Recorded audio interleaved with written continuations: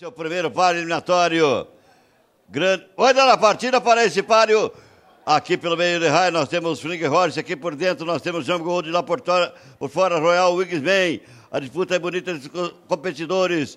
402 metros de emoção é aqui no Jockey Clube de Sorocaba. Aqui por fora, por dentro, Jambo Gold. O Jambo Gold veio para a foto da vitória.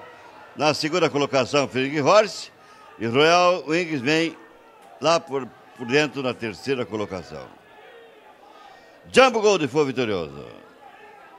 João José de Barros e Maria de Barros, Cuiabá.